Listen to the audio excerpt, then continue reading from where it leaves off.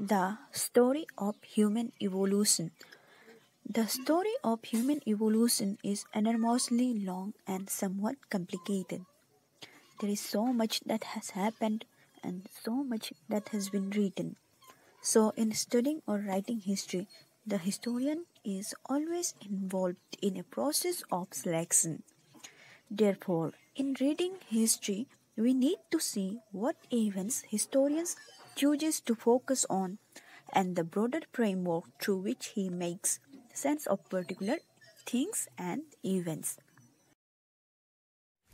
The story of human evolution तो आज का हमारा टॉपिक रहेगा the story of human evolution या फिर आप कह सकते हैं मानव का विकास तो हम ऑलरेडी uh, जानते हैं कि it was 5.6 million years ago that the first human like creatures appeared on Earth's surface.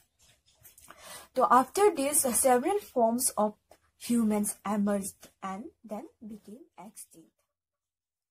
So uh, human beings resembling us henceforth referred to as modern humans uh, कब originate हुए वे originate हुए about one lakh sixty thousand years ago. During this long span of time, people learned obtain food by scavenging uh, and hunting animals and gathering plant produces. They also learn to uh, communicate with each other and to make stone tools. Now we will see the sources to understand early human history. So the discoveries of human fossils, stone tools and cave paintings help us to understand early human history. So what are fossils? Fossils are the remains or impression of a very old human or any other living things which have turned into stone. These are often embedded in rocks and are thus preserved for millions of years. Another important source is stone tools, which uh, were made and used by early humans and are available in various parts of world, especially in Africa and Europe. And paintings are the another important sources to understand the early human history. Paintings found on the walls of the caves in Europe and Africa are helping us to understand early human history. Most scholars were reluctant to accept that these finds were the remains of early humans because according to Old Testament of the Bible, the origin of humans was regarded as the act of creation by God. Discovery of Neanderthal man's skull. In August 1856, workmen who were quarrying for limestone in Neander Valley, a gorge near German city of Dusseldorf, found some skeletal. They handed it over to Carl Fuhlrott, a local schoolmaster and natural historian. Later, he plaster cast it and sent it to Hermann Schaaffhausen, who was a professor of anatomy at Bonn University. He claimed that skull represented form of human that was extinct, and the skull was named after the valley where it was found, Neanderthal man's skull. In 24 November 1859, Charles Darwin, on his book The Origin of Species, argued that humans had evolved from animals a long time ago. Between 36 million years and 24 million years, a category of mammals called primates emerged in Asia and Africa.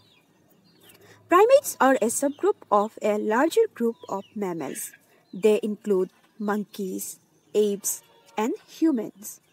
And their features are they have body hair, a relatively long gestation period following birth, mammary glands, different types of teeth, and the ability to maintain a constant body temperature.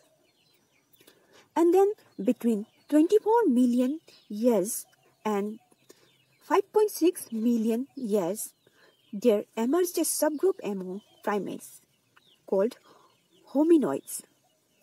Hominoids are different from monkeys in a number of ways. They have larger body and do not have a tail.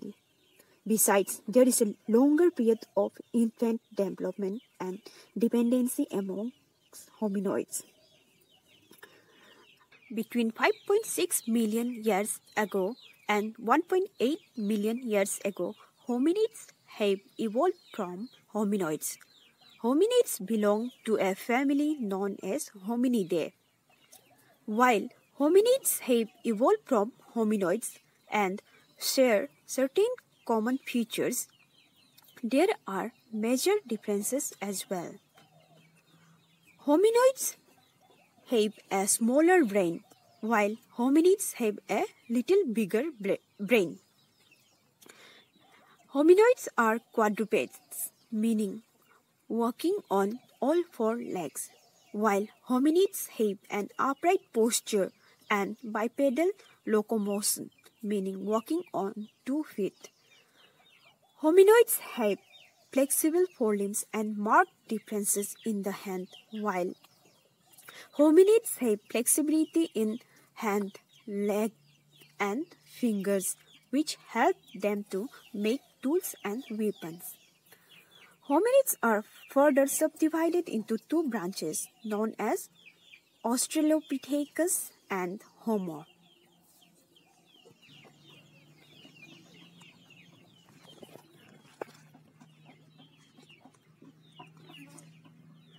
There are evidences that suggest that hominids have an African origin. Uh, firstly, it is the group of African apes that are most closely related to hominids. Secondly, the earliest hominid fossil, which belong to the genus Australopithecus, have been found in East Africa and date back to about 5.6 million years ago.